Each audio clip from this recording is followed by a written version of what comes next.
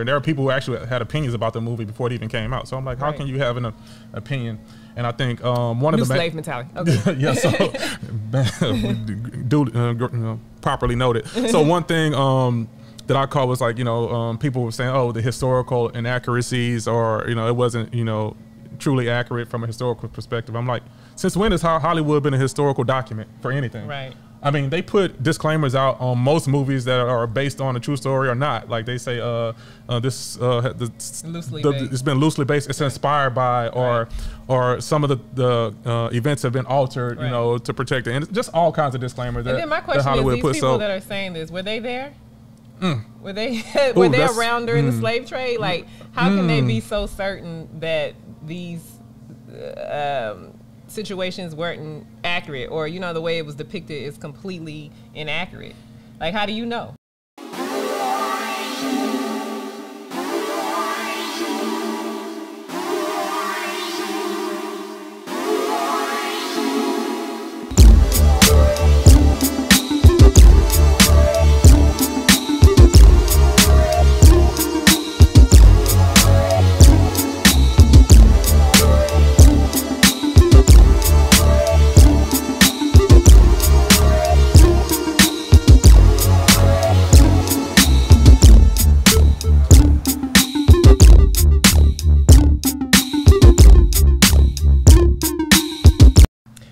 Another episode of the New Slave Podcast, Movie Review Edition. We are here to inform, entertain, and curate an evolutionary media experience. I am Dani Rai, aka the Juice Queen.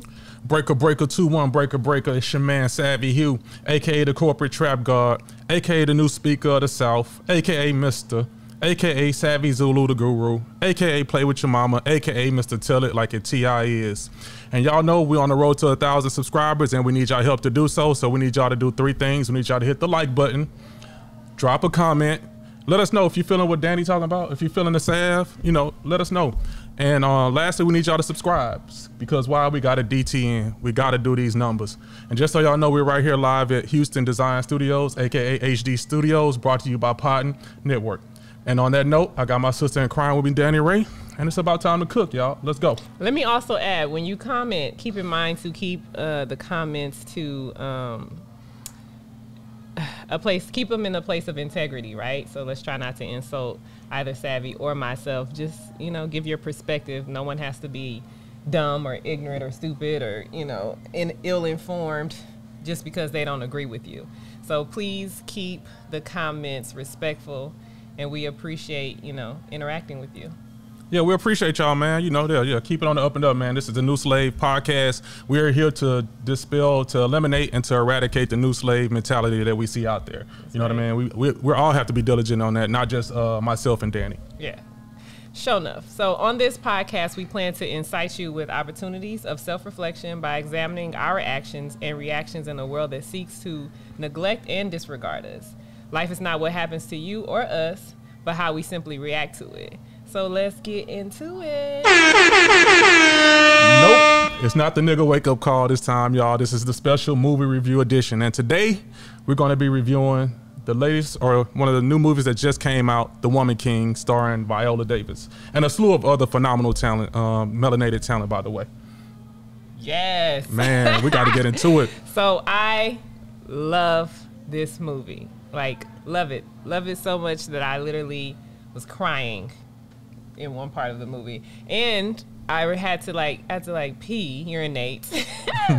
probably with about probably with about 40 to 50 minutes left. And I just was holding it because I did not want to miss a second of the movie. It was that great. I feel like all of the actors did amazing. Like I was completely convinced, especially Viola Davis and uh, Thuso Mbedu. She did really well. Um, I've actually never seen her before. Um, now I don't know what other things she might have played in. I don't know if she played any other American films. However, however, she did a phenomenal job. All of them really did great. Um, the storyline was amazing. The accents were superb, for what for what I can tell. Like if one of the actors was an African, like Viola Davis, I couldn't really tell the difference. Um, but also, I'm not first generation African, so I can not say, oh, this was on point or not. But I can say for sure. I've talked to. I have a lot of uh, Nigerian friends. Uh, I have a coworker who's Ghanaian, and we had this same conversation. Wow. Um, and she said, "Yeah, no, it was good." So Wow. I haven't, and I think we can all say that if it wasn't, they would have let us know right away that you know the accents were trash, but they were really good. So um, I loved it. I also heard that some people were boycotting the movie, but I also heard that the movie made 19 million opening weekend. So that just goes to show, you know, sometimes that negativity just doesn't even amount to anything.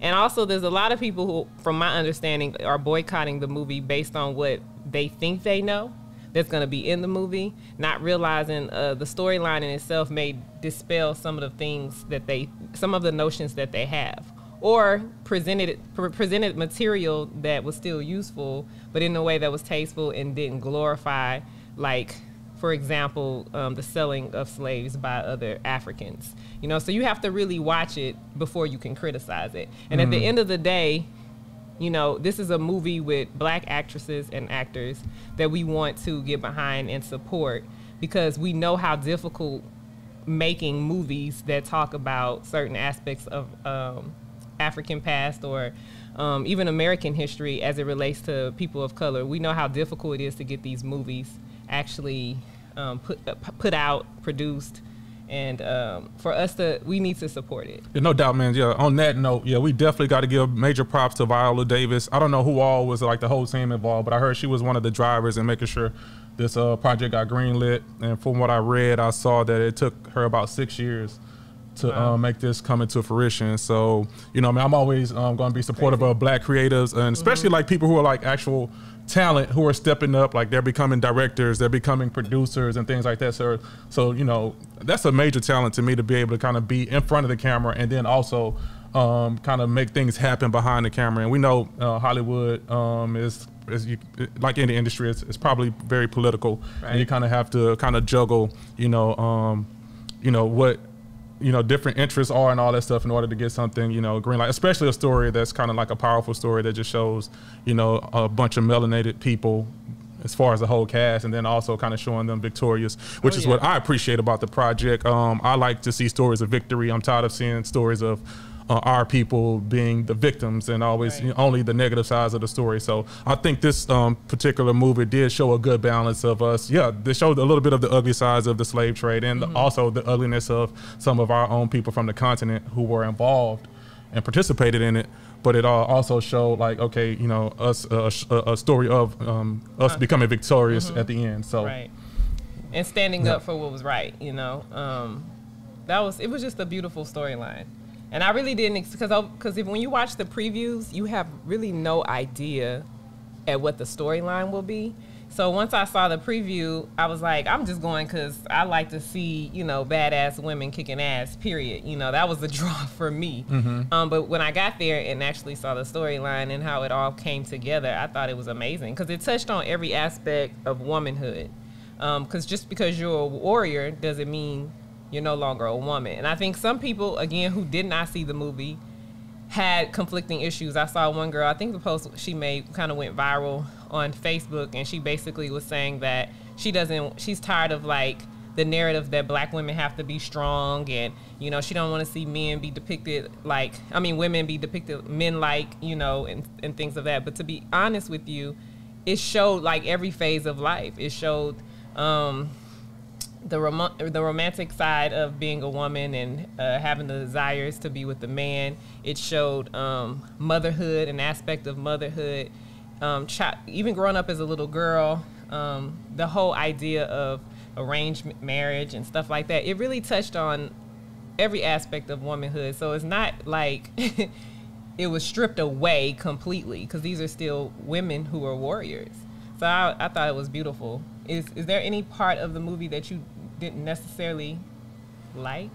Um, so actually, to that sister's point, you know, you almost kind of segued into my point. Um, I'm not going to say like I dislike it, but honestly, I'm at a point where I don't care to see um, black women brutalized or um, feeling like they have to go through so much struggle and so much torture, whether it's physically or psychologically, um, in order to basically be a rites of passage for black womanhood. Um, that doesn't you know, um, I won't say it doesn't resonate. I think it resonates too much. It's almost like you know, like trauma porn. It's like, damn, we got to see this again. I got to see my sisters um, going, putting up with, with all of this um, in order to, you know, just to survive. You know what I mean? Mm-hmm. The, the basic, you know, fundamental, you know, hierarchy of needs and stuff like that. Um, and they were put in a position where they had to survive, which is like a real story. Which is like, you know, it's even relevant um, to this day. Or when I, but you, you got to tell the truth. At, at the end of the day, I'm gonna stand with the truth. And so that was th those women's realities. That's the uh, reality of a lot of our sisters today. Um, you know, I do believe media is very powerful. So um, I, I, I hope that there wasn't a takeaway from it to where you know women of color felt like, damn, you know, that is my existence. That's what I have to. That's my identity. I don't. I don't think so. And the reason why I don't Yeah. think that's the case because they had a choice. Mm-hmm. They weren't forced um, to be warriors. They had a choice. Um, Mm-hmm. And in one part of the movie, um, when Viola was talking to um, a, a warrior in the movie, and her name was her name in the movie is um, Izogie, no. Um, some- Nawi? Nawi. Nawi, She mhm. was talking to Nawi and she said, um, told her she could leave. And she said, no, I want to be here and fight for my king. Like she wanted to be there. She had an option. And they even said when they were bringing in, bringing in new recruits, they even told them if you want to have children, if you wish to be married, you know, if you have a different lifestyle other than what we're going to provide for you here, you're welcome to leave. And so, I mean, I can appreciate that. I think if it was like they were forced into this lifestyle, as far as the movie is concerned, yeah, that probably would have made me feel like, you know, that it's that sucks that this is forced upon us. You know, I would have probably, you know, Mm-hmm. internalized it a little bit more. But it was a choice, No, I agree. I think that's that was, empowering. I was gonna say, yeah, you just took the words out of my mouth. I do think that is empowering, when, you know, and that some of the sisters did leave when they gave them that declaration. Yeah. You know what I mean? If, if this is not for you or you don't want to go through with this, you know, you do have the choice to leave. And so um, they were very like diplomatic in, in how they handled that, and they didn't like try to scrutinize or scorn the women who chose to um, to leave Right. um, when they made that, that statement. So uh, I definitely feel that. Um, when you asked me about like other things I uh, didn't like about the movie, so first of all, I got to say my the biggest thing I like about the movie is that I feel like you know it was led by you know, you know, our people, and so shout out again, shout out to Viola Davis. I think the uh, director was Gina Prince Bythewood, who's also known for Love and Basketball. Uh, fame and a bunch of uh, other projects that she's uh um, you know lended her talents to. Um, one thing that you know me doing my research, I saw that um, there were you know the writers or the primary writers on the project were not our people, and I just that rubs me a certain type of way because I like to see stories of color created and written by people of color. And I, I saw like two of the writers um, were like white women, and I think they were kind of like the primaries when it came to the screenplay. And then to that point, there was a part where um, I, I won't say it was a love interest, but definitely like a, a, male interest of the, I guess, kind of like the main character who the story was about. Uh, the Nawi character was a biracial or close to white dude who actually was on the side of the slave traders. So um, I didn't really care for that aspect because I have this whole thing about the whole white savior thing, even though, yeah, technically he had black in him and he was kind of on a journey trying to reconnect with his roots and everything, but he still, to me, was on the side of the oppressors at the end of the day. And if anything popped off, if the revolution popped off, uh, he was going to be seen as I think. white. He was going to pass for white. So I that's think it was just. a, um, I think it was a necessary addition to the movie. That's, that's attached to reality. You have several people who are on the fence, who are of mixed race, and I have to be honest. I see more.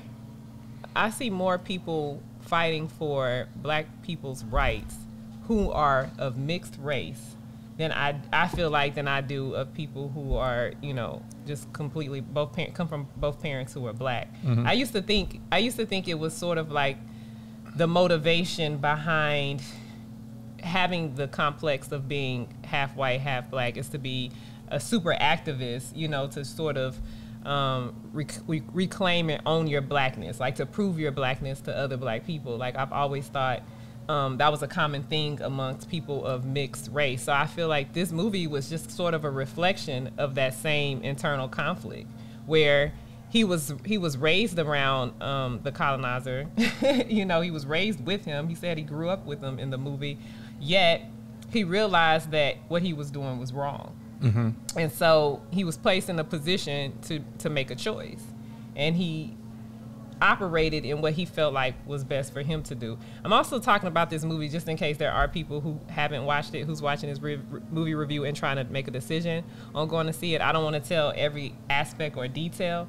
Um, but like Savvi said, I get I get the perspective, but when you watch the movie, really just have an overall, um, just be open minded, right? Because this is a movie that is like it's set it's set back in time yet it, it still has to be timeless. Like we still have it has to be relatable right? It has to be socially and uh, politically acceptable even though what we're talking about you know is very dark. You know the times in which there was a the slave trade and stuff like that so it has to be a movie like Savvi said that people want to watch because you get because we we all get tired i think even white people are tired of watching slave movies you know and mm. that whole narrative mm and so this is, and that might even been the motivation for these white writers, these white women writers, is to um, champion. Because I always say white allies are needed, and there are some that are out there, and so that might even be their motivation for putting creating the movie.